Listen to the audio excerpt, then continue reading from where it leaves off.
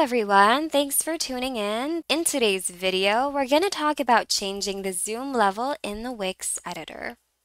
If you want to zoom out to be able to see your page structure better, you can simply click on the zoom button on the upper right.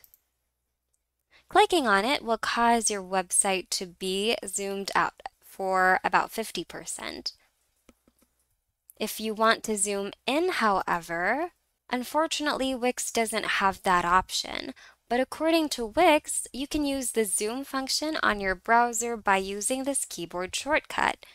Control plus plus to zoom in and Control minus minus to zoom out. That's Command plus plus to zoom in on Mac and Command plus minus to zoom out on Mac.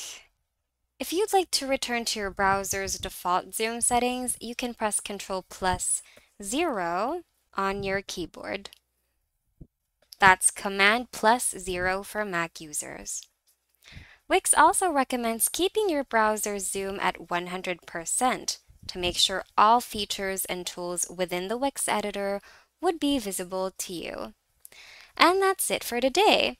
We hope you found today's video of help somehow. If you need more Wix tutorials, check out our channel and consider subscribing. Thanks for watching.